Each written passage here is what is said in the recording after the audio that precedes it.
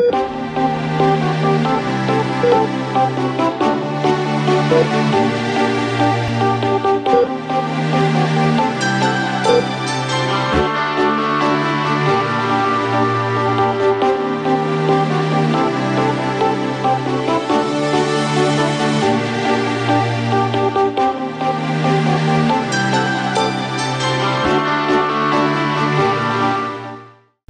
вечер и добро ни додавте во новата ординација. Вечерва повторно ќе зборуваме за доста актуелна тема. Ни се покачија температурите, а и секако јачината на сонцето. Тука се силните УВ зраци кои што можат негативно да влијат врз вашата кожа, доколку и самите не сте свесни и совесни дека вие треба да сте тие кои што треба да си ја заштитите. Лекарите постојано предупредуваат: не излегувајте на високи температури, носете заштитна облека, носете очила, носете а, нели шешир. Не знам колку ги почитувате вие овие превенции, овие совети, но нашата ординација постои тука да ве подсетиме на нив и да ве заштитиме од сите заболувања кои што се појавуваат на кожата периодов. Останете со нас.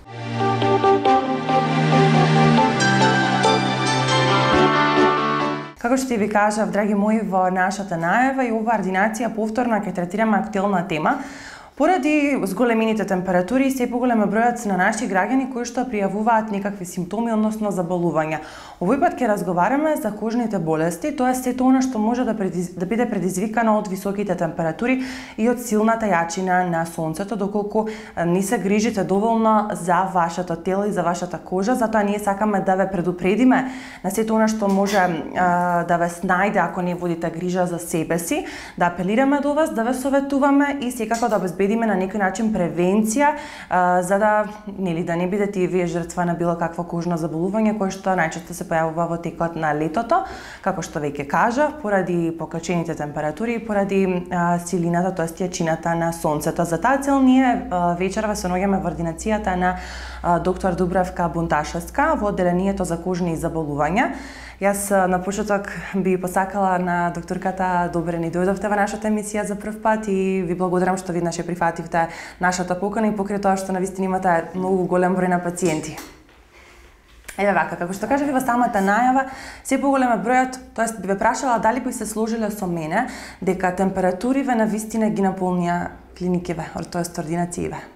Јас би кажала од наш аспект, нели? Uh -huh. Како диспансер за кожно-венерични заболувања, секогаш дали не само топлото време, нели за нас е пресудно так. зрачењето на сонцето. Так. И дека за бидејќи со сончевото зрачење се поврзани многу кожни заболувања, бидејќи кожата е првата бариера помеѓу надворешната средина и нашиот така. организам. Uh -huh. И логично е при вакви високи температури и високи УВА и УВБ зрачења да страдат кожата. Значи, затоа јас можда и сум некогаш напорна и досадна, но секогаш на секој пациент, без разлика која е теологијата на неговата болест, uh -huh. чим го погледнам и видам дека е пациент со светли очи, како вие, светла uh -huh. кожа, светла коса, тој за мене е веќе тип 1. Тип 1, значи на кожа луѓе кои се во тие фототипови тип 1, uh -huh. тип 2, тие се луѓе со светли очи, светла кожа, како што кажа, светла коса, од детенце до највозрасен, тие се најподложни на тие фотодерматози. Uh -huh. Фотодерматозите имаат широк спектар. Така. Некогаш се сами по себе, некогаш се фитофотодерматози, трева, дрва, сонце и вода. Uh -huh. Некогаш чисто како фотодерматози, изгореници и други а, болести. И секогаш на тие прво им кажувам дека а, треба да имате култ према сонцето. Што значи то? Нели ние сите го сакаме, тоа е живот да. е сонцето, но да имаме една почит едно почитување, uh -huh. не страв, почитување и една така е, овај да да створиме еден култ према сонцето, како е, на пример мексиканците. Тие го слават сонцето и, и богот на сонцето, ама носат големи сомбрера, нели? Да, сепак се заштитуваат. Пончо, значи и рацете, и телото, и главата им се заштитени. Да. А, во денешно време заштитата е лесна затоа што само треба една добра едукација и желба да го послушаш советот на докторот, било дерматологот, било матичниот лекар, нели? На бидејќи имаме на пазарот многу убави средства за заштита од сонце. Така. Тоа се креми со УВА и УВБ заштита многу висока, 50, 50 плюс 90. Значи, тие бројчиња значат само едно. Значат, ги означува минутите. Да. 50 е 50 минути, 50 плюска е нешто околу 60 минути заштита. Значи не е таа бескрајна. 90 израелците пласираја 90 е, SPF, Sun Protection Factor, 90, тоа значи 90 минути, значи негде близко 2 часа може да сме комодни со таа крема заштита. Така, тоа се одредува според тенот, како што кажавте? Да, е поврзано со тенот, што тип 1 кожа под 50 не треба. Значи, посветлите луѓе 50, 50 плюс, пегавите со вегички, со ефелиди и 90. И така, значи, подобро е да бидат да би- е повисок факторот на sun protection факторот на заштита за подолга минутажа. Дали што е една од препораките? Може би Тоа најглавна. препораките, да. И сега, кај потемните луѓе можда е доволно и 30, нели, зависно колку ќе се изложени на сонце, Така. али тие бројчиња тоа се минутите. Не е тоа потентноста на кремот, тоа се минутите. Е така. Овај, друго, во тој смер би кажала дека поновите е, кремови за заштита од сонце има така една интересна, така наречена био protection систем еден на само заштита на сонцето, од сонцето.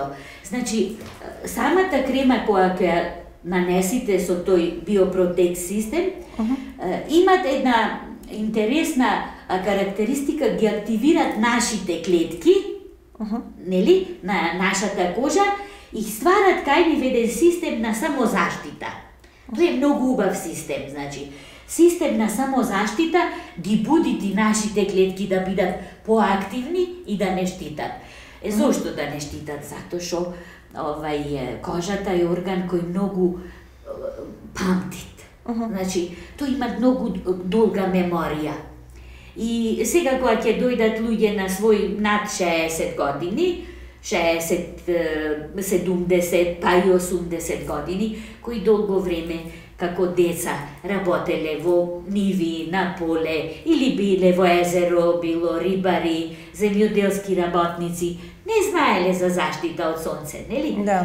И сега доаѓаат во тие години над 60-65 со преканцерози на кожата, најчесто на лицето, нели лицето е ударно, тоа Да. изда и со преканцерози или со е, кератоакантоми, нели од хипер кератотични соларни промени. Да, значи имате често такви случаи, Како така? не, како не? Тие во таа популација на 60 години јас би рекла нема човек ако не секој прв, секој втор е со такви промени. Така. Зошто? Ама јас не сум бил сега изложен на сонце, не, али сте биле од младоста до е да, Да, последиците се од после. Да, јас сум бил дали земјоделец, сум бил рибар, шофер преку стаклото имало фото значи сензибилност имало стаклото прекршува зраците. Значи тоа е и кожата тогаш после 60-та година ќе ги покаже тие промени. Така, ги значи кога тогаш сепак ќе реагира? Да, да. Дали сега повеќе се обрнува внимание на тоа колку порано? Некако Мислам, поактуелни да, се мислам, сега овие теми, да. Да, поактуелни се и сакам да ви кажам дека е, сакаме да ги доближиме ние дерматолозите, тие навики. Тоа е за мене хигиено-диететски режим. Сватете ме, значи. И му викам, нема што да мислите, од сабајле станувате, го миете лицето и ставате крем. Uh -huh. Дали ќе излезете до продавница или во двор или во колата, ќе видите, не е важно. Uh, порано се мислеше, uh, овај, се мислеше дека uh, се користат кремите некаде со uh -huh. заштита од сонце, крај на февруар велевме почеток на март до крај на ноември. Uh -huh. Сега не. Сега се препорачуваат преку целата, целата година. година. Uh -huh. Значи, најстрашното нешто што може сонцето да ни го да ни го приреди uh -huh. во касните години, то се кожните преканцерози. Значи, так. преканцерозите најчесто на лицето.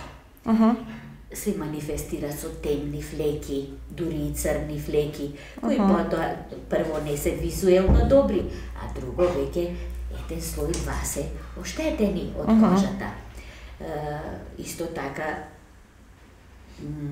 епителиума базоцелуларе еден вид, да речам, бенигно заболување, uh -huh. еден вид бенигна, бенигни рак на кожата, ама кој во секој момент е како бомба да носиш во джеп. Так, так. Во секој момент може да се активира. Да, да, да експлодира. И третиот веќе меланомата, uh -huh. која првично нели е генетскиот фактор кај меланомата, ама сега се покажа дека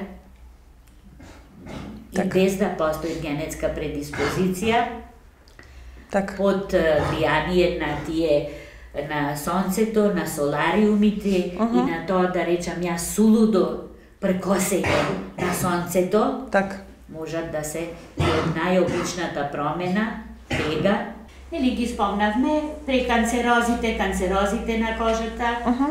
предизвикани од неконтролирано прекосење на сонцето на тие без заштита, УВА, УВБ зраци, некој со знаење, некој uh -huh. од незнаење, И така, после би го спомнала и аспектот на старење на кожата. Што повеќе изложеност без заштита на сонце, тоа е побрзо старење. Да. Влажноста, живоста на кожата, uh -huh. значи се многу брзо ја губиме и со сила uh -huh. го убрзуваме тоа старење на кожата. Тука би ги спомнала и солариумите. Uh -huh. Бидејќи морам да ги спомнам и солариумите тука, само добра емисијава ние сепак за за да, природната да. Но сепак и тоа е нешто многу битно затоа што да. е многу застапена тема посебно кај младите, да. па би сакале да го слушнеме вашето мислење затоа што значи, ви сте значи, професионалец. Јас секогаш кога сум имала прилика да бидам прашана, било на радио емисија во кај вас од пациенти, викам заборавете ги солариумите. Uh -huh. Немојте, немојте да ја предизвикувате судбината, нема потреба од таква работа. Така. Значи, нема тука контрола, ставам на очари, ставам ваква крема, uh -huh. не, не. Значи сепак се штетни. Не сепак, тие се, се штетни. Uh -huh. Тие се штетни. И нашата клиника за кожни заболувања во Скопје универзитетската клиника секогаш укажувала на таа штетност на само добро сега ние не можеме против сите тие трендови кои се јавуваат, нели? Да. Но сепак наше е да укажеме. Так. Го спомнавме и старењето, потоа треба да ги спомниме овај фитофотодерматозите, uh -huh. кои се јавуваат како фотосензибилност со некој лек. Uh -huh. Ние сите денеска, ако не друго аналгин ќе се напиеме, ќе се напиеме можда некој витамин. Така. Било шумлив, било друг. Ќе се напиеме некогаш антибиотик, што и да било. Значи, секој лек, секој лек, кој помалце, кој повеќе имат фотосензибилност со сонцето. Uh -huh. Заштитата ние што ќе имаме на лицето, на рацете, на деколтето, uh -huh ќе не пазит и од тие фото ефекти на лекот и сонцето, а тие можат да бидат многу погубни. Uh -huh. Можат да се јават како многу еруптивни реакции. Ето тая фотосензибилност на лекот кој толку безазлено сме го испиле, так. нека е парацетамол, нека е некој антибиотик, нека uh -huh. секој лек, кој повеќе, кој помалце имат фотосензитивност. Сонцето. Така. И сега ги спомнавме, значи, повеќето, кои се. Така. И сега би сакала да прашам затоа што Охрид е туристичко место и нели пред време започна сезонава, имаме високи температури како што спомнавме во повеќе наврати. Ке почнеме од децата. Они многу често знаат идам на плажа, не земам ништо за заштита, јас сум со темен тен да речеме, онака ќе поминам. Дали ви имате случај кога ви носат а, дечиња од помала возраст кои што добиле изгореници од сонцето и кои што навистина се можат и фатални да бидат? Како да не? Како да не? Немаме лето без изгореници. Да. Mm -hmm. значи не сте прошли ни еднаш без таков случај. Не, тако лето, уште не сме до тој степен на нашата, mm -hmm. да речам, овај, што ви ја кажав, тая хигиено-диететски режим или култура медицинска, uh -huh. што го кажав тој култ према сонцето, не сме достигнале да немаме, за жал имаме, и кај дечиња помали, можда не толку, бидејќи родителите, ако не за себе, барем за децата се грижат, се самосни, да. се грижат, не би рекла дека не е така, можда ето, некои кои сакале да испроба,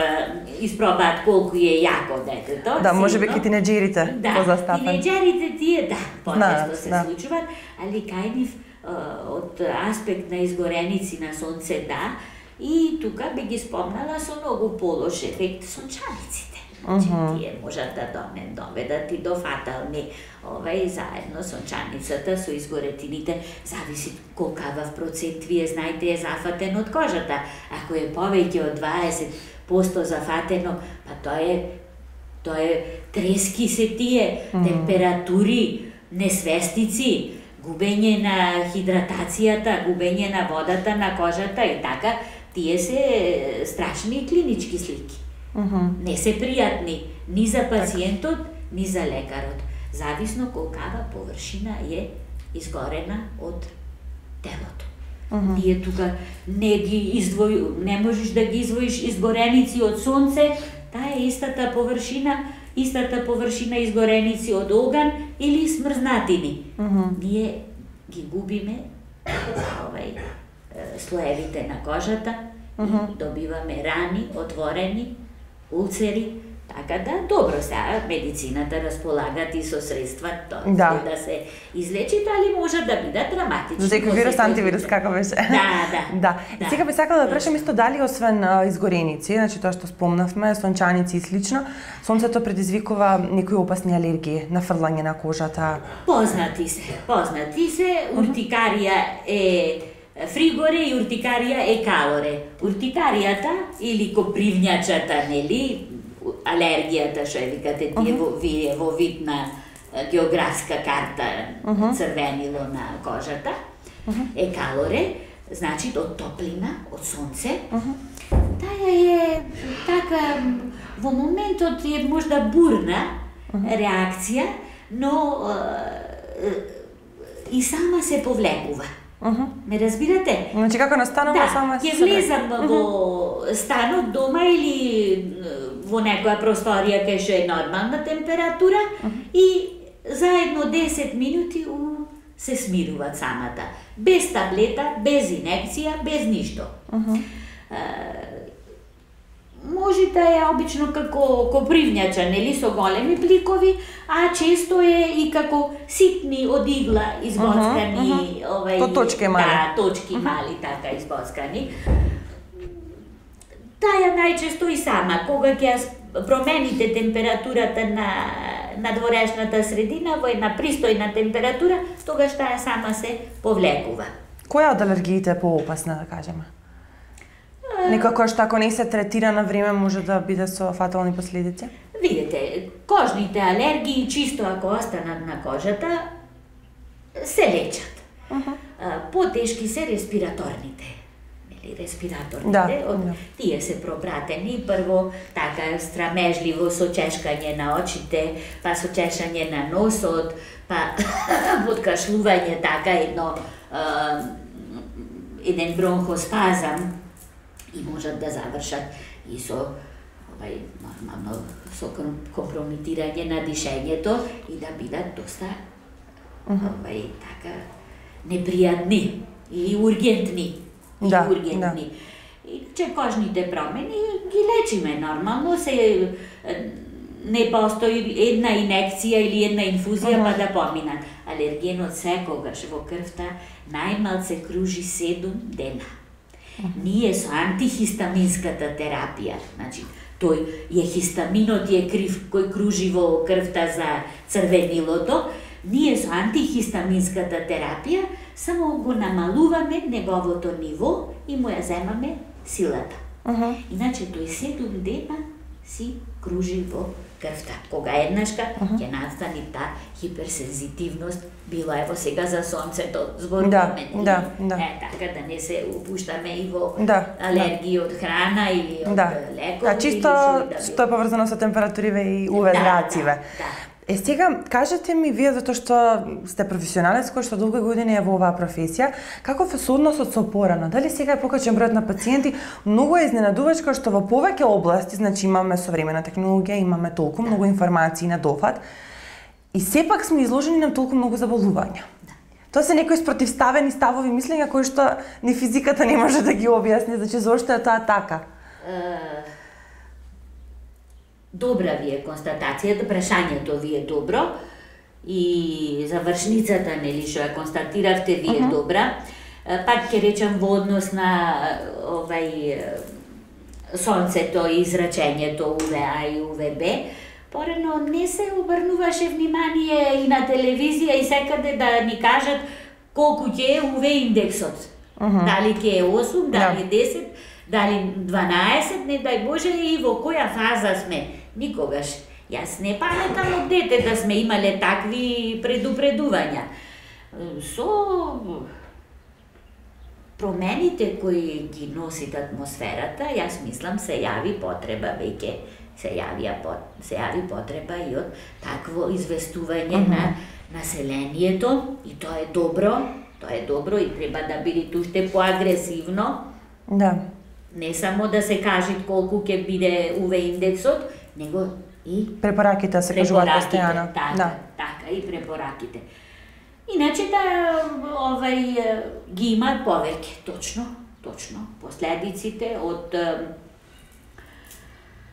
сонцето, зрачењето, тие озонски дупки, делумно се објаснети, делумно не да. се, али во секој случај се многу, многу поагресивни од минатото.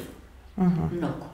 Можда порано ние овај сме знаеле во Австралија се изложени на такво зрачење да. или во ваму таму. Но сега и кај нас. Но сега е и кај нас. Можам би ги изедначила. Да. да. Само таму можда тие веќе прераснало кај низ во фобија веќе.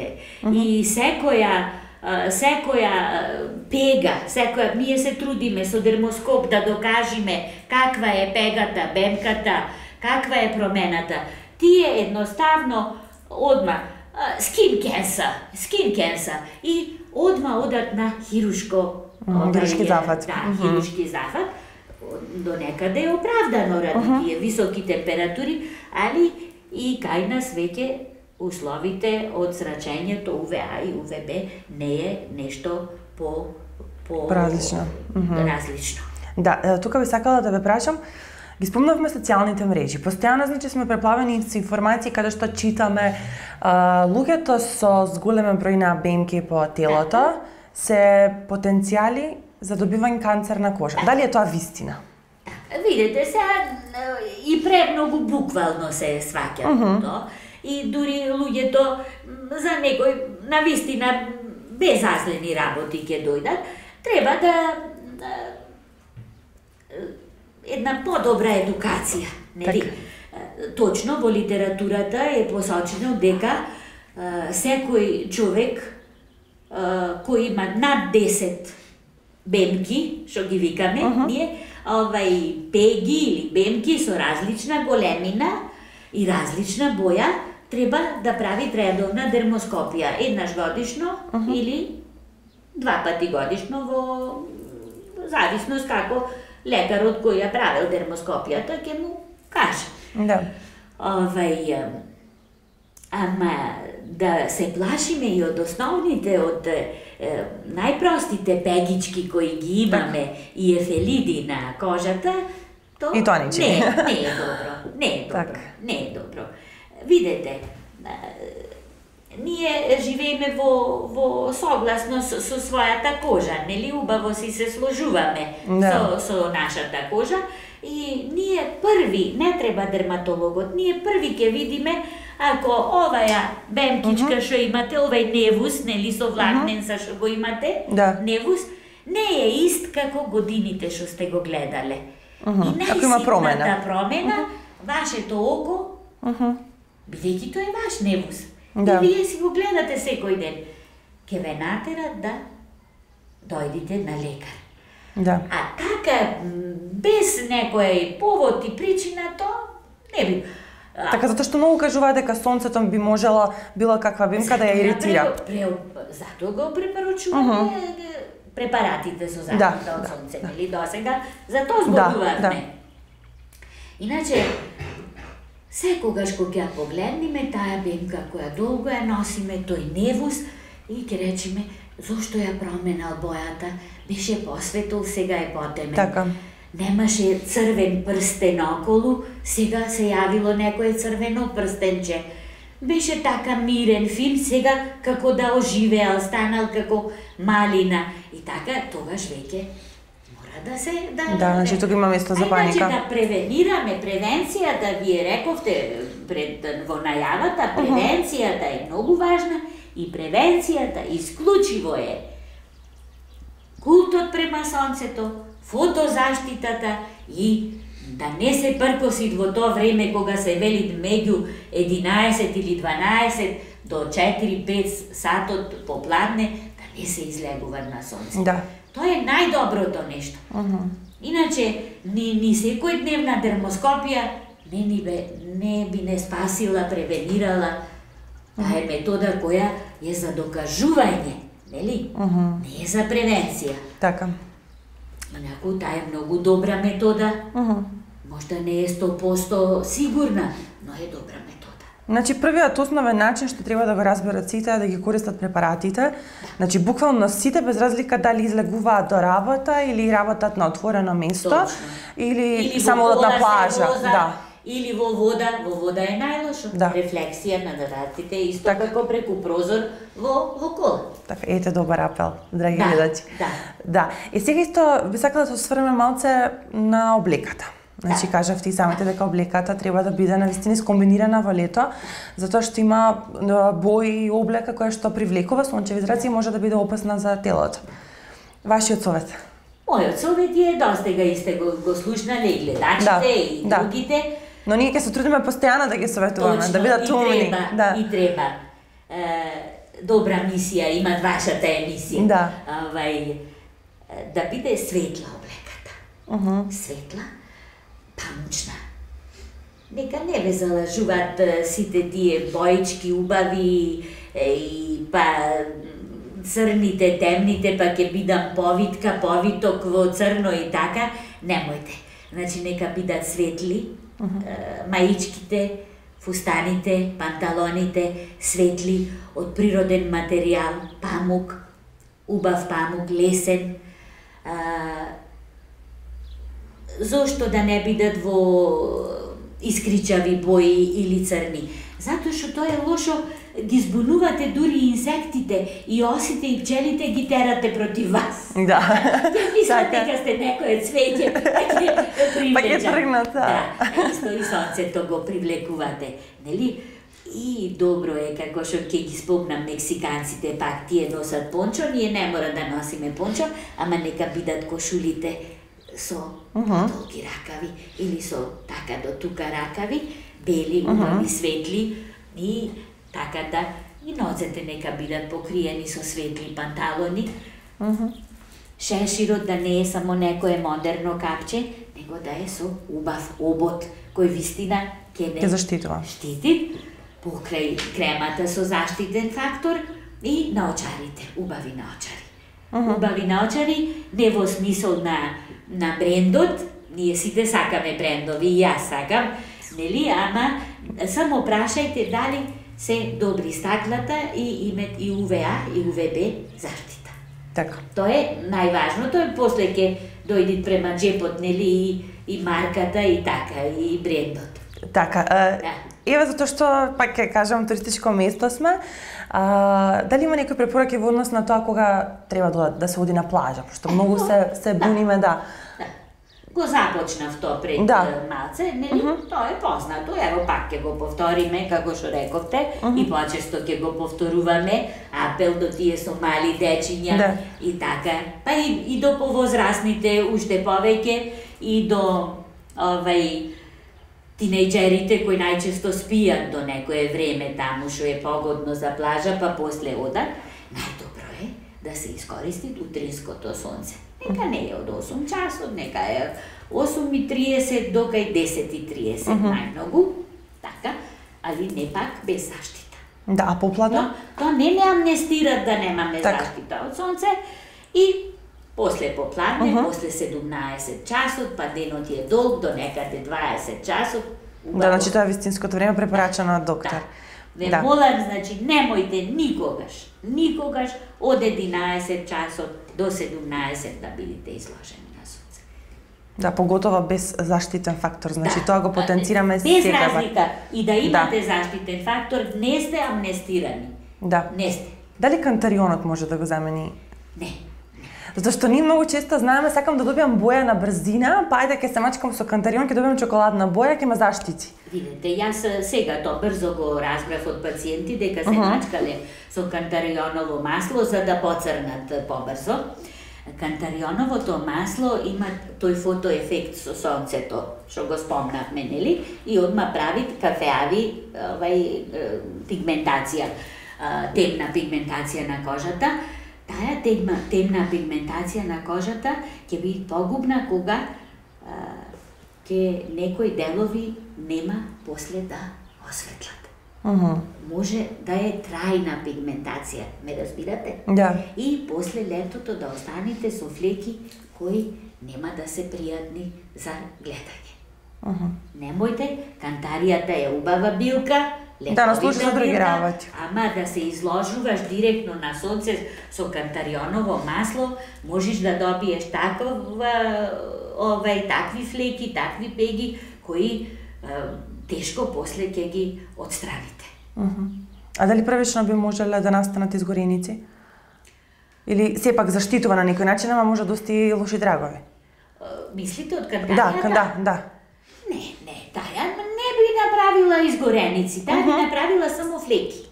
Само флеки, тоа е фотосензитивност. Сонцето и кантаријата ќе направат една реакција и ќе ја потемнат на тој дел кожата и тоа може да биде заставено. Да, како ние лишаите кои што се чести исто. Да.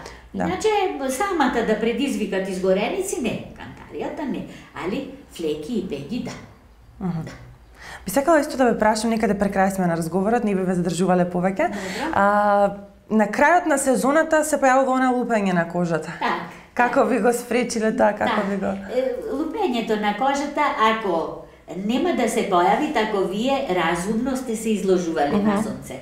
Нема да се појави, не е тоа обврзно појавување на лупењето на кожата.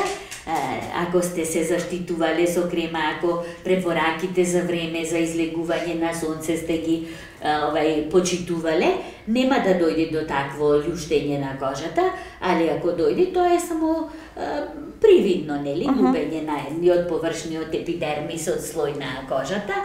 И тука само препорачуваме убава хидратација. Емулзии најчесто, не креми, млека или емулзии, не масни. Не масни, оти многу сака со масно, леле ево, не. Хидратантни. Хидратантни, лесни емулзии со кои нема да ги запушите во тоа топло време овај порите на кожата, а ќе си ја оживеете, ќе си ја хидратирате кожата и покрај тоа што сте ја малку шокирале со сонцето, таа пак ќе биде Така. млада и здрава. Така. И не би сакала Значи, исто да... Хидратантни емулзии. Да, потенцираме за да, Да, знаат да не да. пробуваат, да не експериментираат. Не масни, за Така. пушувачки кремови емузи, само чисто хидратација на кожата. Добро, и само би сакала да не изоставиме да спомнеме дека многу често ни е таков синдромот ни е на сите да експериментираме, ќе добиеме нешто и сами се лекуваме на почеток. Би сакала да им потенцираме на нашите гледачи доколку еве дали на плажа, дали на работа, било каде добијат одредени изгореници, што треба прво да направат? Да се јават тука или се пак да пробаат со Така, домашни лекови? Рековме во од почетокот, нели, дека зависно колку површина од кожата е Да. Под изгореници. Ако е голема површина од кожата, Така. ако е компрометирано лицето, грбот и така, нормално дека ќе се јават на лекар. Дома што би можело, јас сум чула јогурт нешто, Да. сода бикарбона, нели? Да, тоа е народската. Да, да, кантарија и така. Сепак, јас би рекла дека треба да се јават убави имат креми кои се против изгореници, така. На сигурно со сепак. сребров, да, Да. и така, тука се кремите кои а, дури сум имала и пациенти со преврски кои сум ги третирала. Дојдени од Турција од 50 и кусур степени биле на летовање и то со преврски веќе со станицидни гази и со сите тие работи. Тука мораме да вклучиме и антибиотик и сите работи, значи нема играње со тие работи. Добро.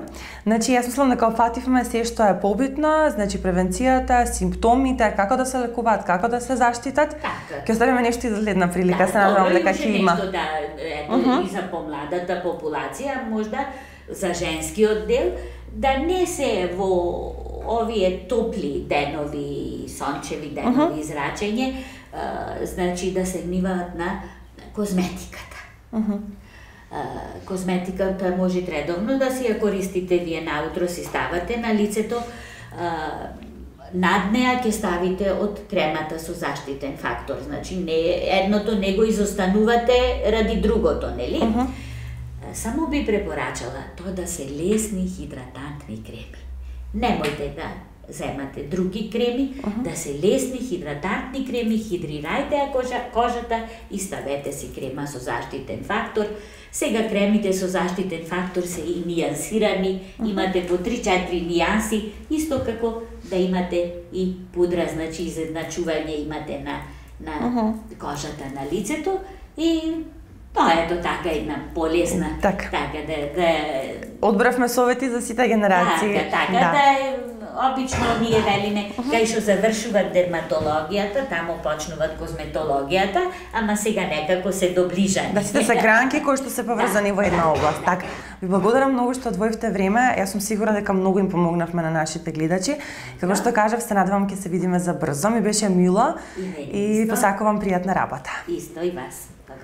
Така, останете почитувани гледачи и понатаму со нас. Ние направивме анкета да видиме дали нашите гледачи, тоест граѓани на Охрид, знаат како да се заштитат од сонцето и ги знаат превентивните мерки. И оние кои што не знае, ние ги научивме и им кажавме кои се тие и зошто тие се корисни за нив. Останете со нас.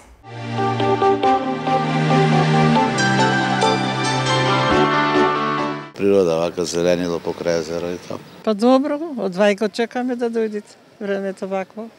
Да. И друго. Во топлото да седиме малу поценка, шешир да носиме. И така. Шеширчиња носиме и така. се осеќам добро, а не баш така топло колку што прогнозират. Наочари си носам, глава не ме боли, јас ни во зима, ни во лето капа не носам. Па ево, наочари, капче бело, обично носиме, ќе се излади сладолед малце, во она. Тоа е, водата најмногу не освежува.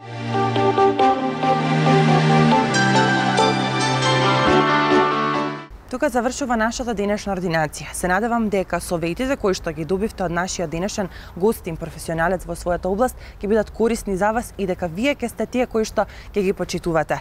Се надевам дека ќе бидете настрана од сите оние заболувања кои што ги спомнавме, дека ќе ги почитувате препораките ова лето и ќе бидете здрави, а со тој и вашиот организам и ќе имате силн и зацврстен имунитет.